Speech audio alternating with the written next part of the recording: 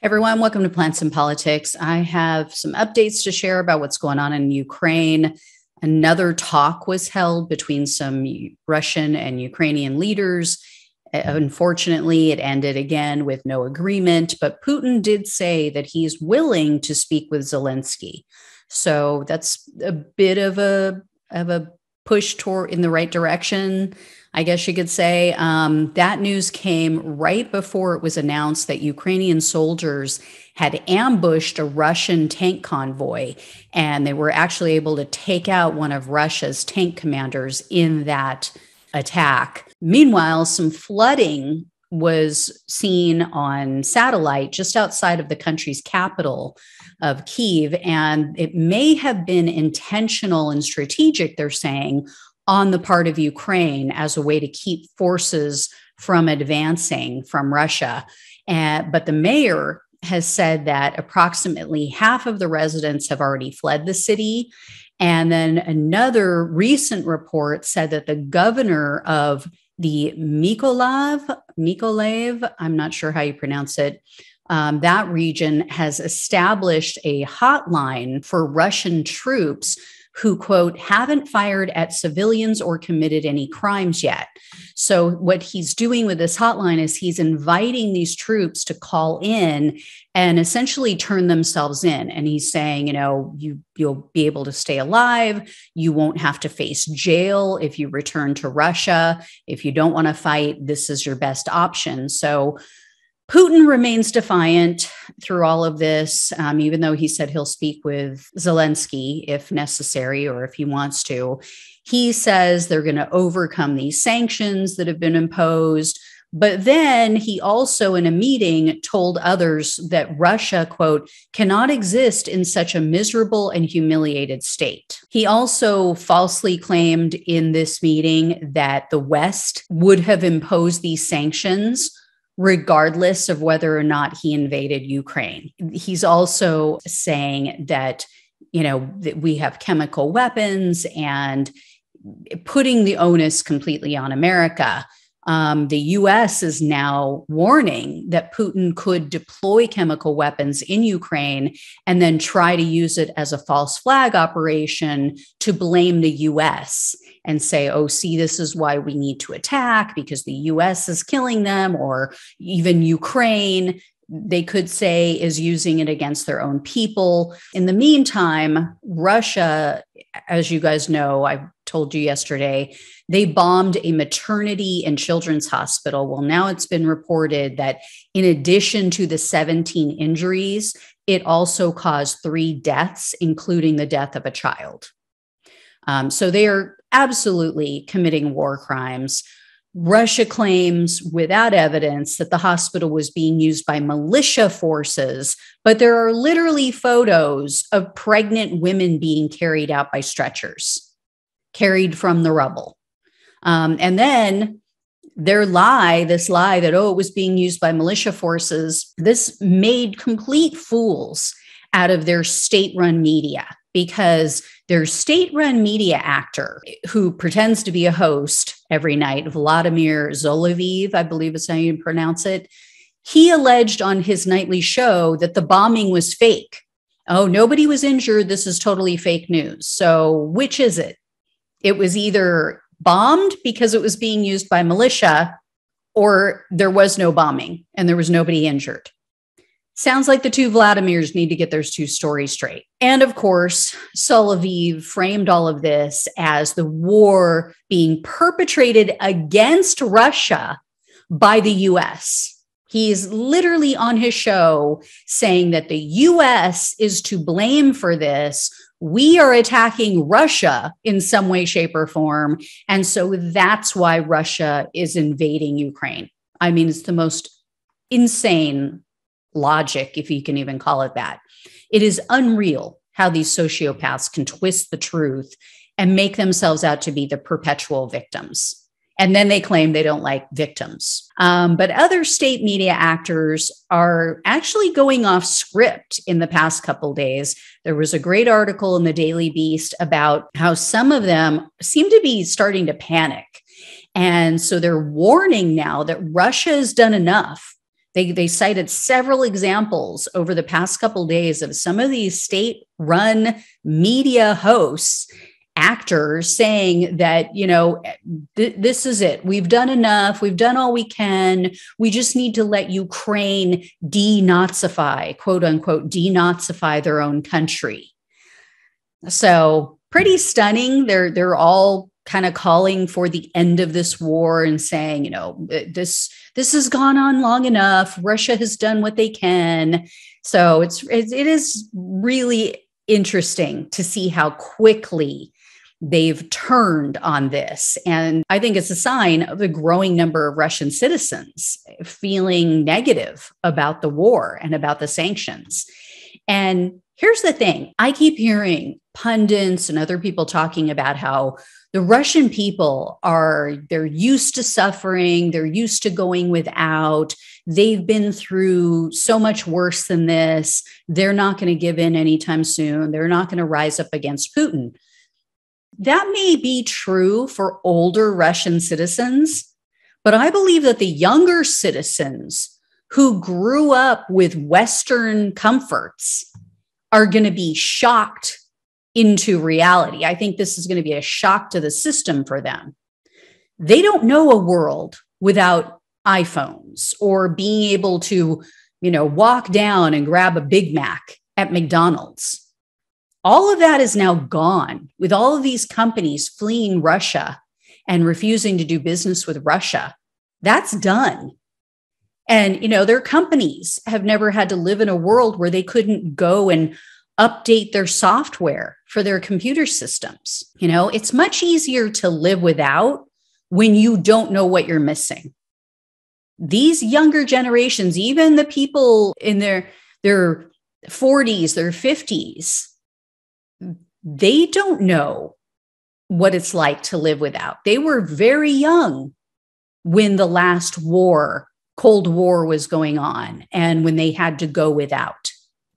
So some of them may recall, but a lot of them won't have those recollections, or they won't at least be able to feel it. They, they don't have the emotional connection to that time. So I have a lot of sympathy for them you know, for many, this is not what they want. They don't agree with Putin's war in Ukraine. So I just wonder how bad it's going to have to get before there's a justified uprising in the country. But in the meantime, the mass exodus continues. Financial giant Goldman Sachs is now the first Wall Street bank to suspend business in Russia. I would imagine others are going to follow suit. And the seizure of assets also continues. Britain just announced that they're seizing all of the assets of Roman Abramovich. Um, he's a billionaire Russian oligarch. He's a Putin ally, and he holds property in the UK that's valued in the multi millions in pounds. He's also the owner of the Chelsea Football Club, which is said to be worth billions of dollars.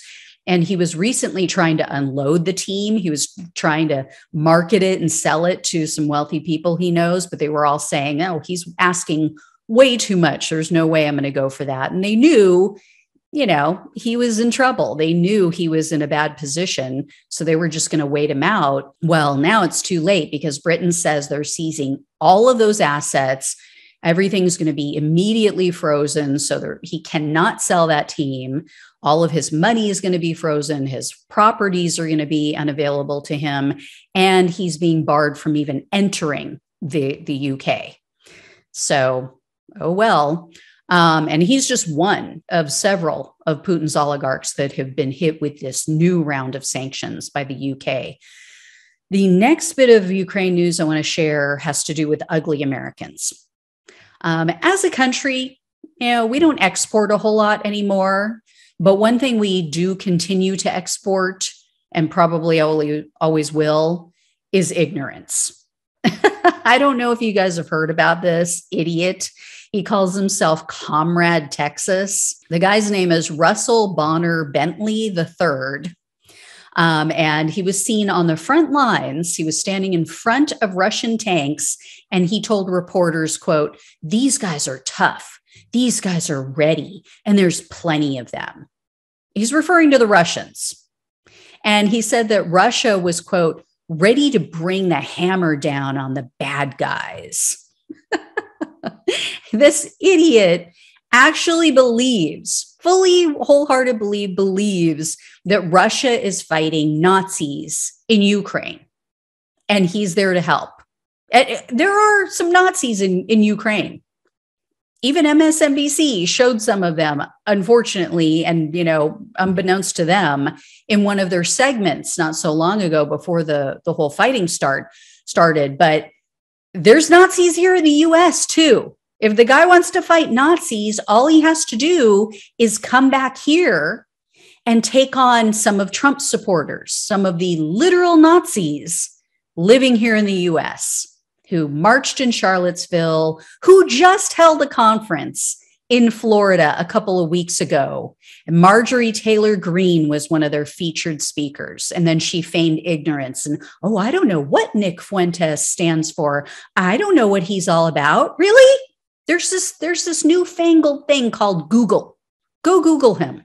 It's not that hard to figure out what Nick Fuentes is all about. So you guys won't be surprised to hear that this guy is wanted by the US Marshal Service for some reason. Oh, and he spent time in prison in the past. Uh, the next ugly American is Republican lawmaker Madison Cawthorn, who clearly needs another at least 10 years of maturing before we can safely allow him out of his mommy's basement. On camera, Cawthorn was spewing out Russian talking points and slamming Ukraine. This just happened. He said, quote, remember that Zelensky is a thug. Remember that the Ukrainian government is incredibly corrupt and is incredibly evil and has been pushing woke ideologies. Was Ukraine corrupt? Hell yes. Hell yes. And they still have some issues that they need to deal with because of Russia because of Russia's influence in the country. So, mm, yeah. I, I mean, seriously, why can't we just send people like this to Russia? If they think Putin is so great, Russia is such an awesome country, so perfect, go live in Russia, Cawthorn. Can we just pack up little baby Cawthorn you know, maybe old Marge from Georgia can act like his chaperone on the flight. She can take him over there. anyway, last but not least, there was some late breaking news this afternoon that Russian forces have pushed closer to Kiev. they are said to be about 37 miles away from the capital. Uh, not good. And the US Pentagon says that 95% of Russian forces remain intact and they're planning to surround the capital city. This is not good, guys. This is going to be very bad. And here's the thing I know Zelensky wants to stay with his people. He is, you know, very proud. He's been very courageous through this whole thing. I know that he doesn't want to look like he's turning tail and running. But my thought is if he is allowed to be captured, God forbid, killed, which is becoming very likely, it's going to have a psychological impact on the Ukrainian people. I think that he has been put on this pedestal in a way, and not that he doesn't deserve some of it. Um, like I said, he's been very courageous, but he's been put on this pedestal and he's kind of seen as this icon now. And, and he is seen as a symbol of the fight against Russia. I think that if they allow him to be captured and killed, I think it will deflate the Ukrainian people. I think it will be a very large emotional, very deep emotional blow. And maybe people won't rally around the next person to step in and take charge. Like I said, if something should happen to Zelensky. So I just think it's best that if they do get too close, that he take off and he fight from afar, that he still activate his people, um, that he still works with forces to continue the fight. But I think that if he is murdered by Putin, I think it will have a very negative effect going forward. Anyway, there was also news that Ukraine informed the United Nations that they're going to be recalling 308 military personnel that they had deployed on peacekeeping missions throughout the world. They're also going to be taking back military equipment that they had provided to others, and that includes eight helicopters. And you guys also may have heard by now that the whole Polish fighter jet idea was scrapped because it seems you know nobody wants to get stuck holding the hot potato poland doesn't want to be responsible for bringing the planes in neither does the us they don't want Putin to view it as an escalatory or aggressive measure by a NATO country. I get that. They've already given them so much, though. I mean, the Ukrainians. So I don't know if fighter jets are really going to be that much different. Um, but there are also logistical issues in actually getting them into Ukraine flying them in through contested airspace, you know, without getting shot down is an issue. Who's going to do that? Who's going to actually fly them in? So, anyway, I'll keep you guys posted on that. I'm, I'm kind of ambivalent on that issue, but I will let you know as I hear more. Thanks so much for watching and listening. Take care, and I'll talk with you soon.